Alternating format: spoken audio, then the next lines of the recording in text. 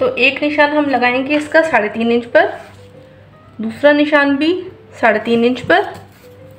इसे हम सीधा कर देंगे।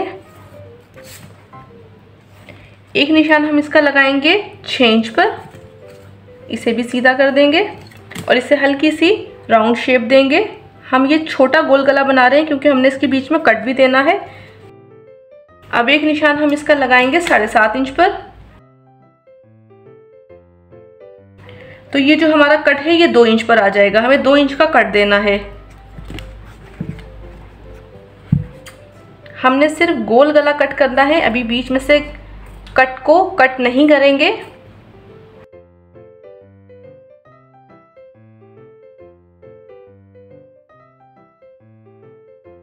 अब इस बुकरम को एक्स्ट्रा कपड़े के ऊपर चिपका लेंगे।